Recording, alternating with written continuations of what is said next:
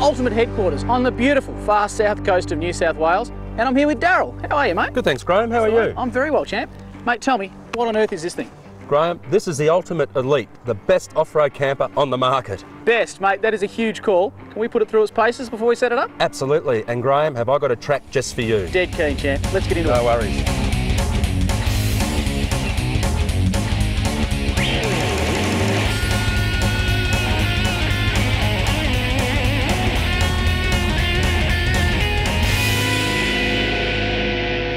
How is that track, Graham? Mate, superb track. And that's your backyard? Absolutely, we're very lucky down here. You're very lucky, mate.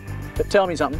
This thing to me looks like a spaceship, not a camper trailer. How on earth do you set it up? Look, the beautiful thing about an Ultimate, Graham, there's three ways you can set this up. You can do an overnight stay, a mid-term stay, and for a hunter fisherman like you, a long-term stay. Mate, what's the chances you can show me how you do an overnighter? Mate, let's do it right away. Get into it. No worries.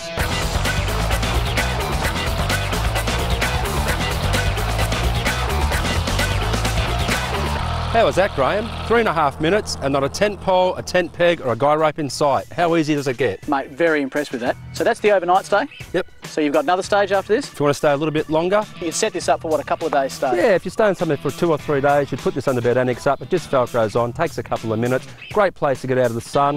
If it's raining, you can even have your lunch under there. Hey, listen, I've seen the overnight setup and I've now seen the moderate setup, but you keep talking about this long-term setup. How about you show me that next?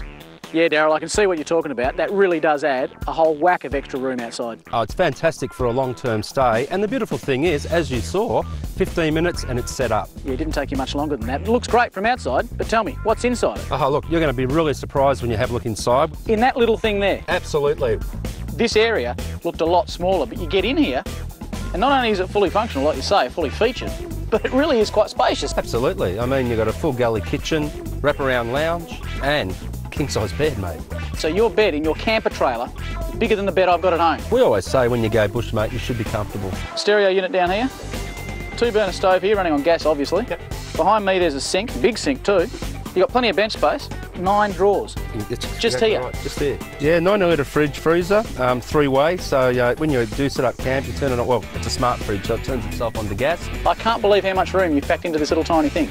But when you open it up, it's got the spaciousness of a mid-sized caravan. It has. It's a lightweight camper, so any vehicle can really tow it. It is designed for off-road, so we've got Subarus, X-Trails, 200 series Land Cruisers, you name it, everyone's towing these around. Of course, where you take it is only limited by the tow vehicle and the capability of the driver. Reversing light. Yep.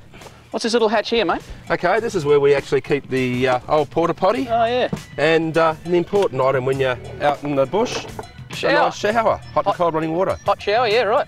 Another compartment here, mate. Yeah, mate, this is just a gas locker. Ah, yeah, yeah, yeah. Yeah, you've got a 9 kg gas bottle, 3.3 kg backup, or for other appliances like a barbecue or whatever. It's all dust sealed, I see. It is, yep. Over there, you've got your battery locker. Only one in there at the moment, mate. You can put two in if you Yeah, absolutely, dual batteries and a larger uh, charger as well. Yeah, right. And here, finally, Yeah. the piece de resistance. What do you got? Look at that.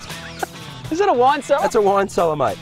Just because you're out in the bush doesn't mean you can't have a few luxuries. I've seen everything now. A wine cellar in a Right. camper trailer. Now that is what I call storage. Mate, one of the other things Ultimates are famous for are their lightweight. Mate, just lift that up and feel how light it is. You mean lift the camper trailer up? Absolutely. Have you seen the size of me? Mate, not a problem at all. I've got little old ladies that can do it. Crikey, well there's a challenge, isn't it? Hey, hey, hey, hey, hey. And mate, don't be fooled. When you're off-road, weight is everything. Yeah, it is, it but is. more importantly, weight sitting on a bulletproof suspension. You've got stone guards on each of your bolts. Absolutely, mate. Well, this is the engine room. You know, this is what you've really got to build uh, to its full strength, and, and we've, we've done that. It's proven over 16 years. Daryl, an impressive camper trailer in anyone's language, mate. She's nice and compact when you pack her away, but open her up and she's like the TARDIS from Doctor Who. There's mobs of room in there, mate. Uh, we're very proud of it, but thank you for your kind words. And uh, when you want to order one, you know where to come. Mate, if people want to know more about it, you got a website they can go to? Absolutely. It's www.ultimatecampers.com.au. Brilliant, Daryl. Thank you very much, mate. My pleasure. Welcome anytime. Good on you, champ.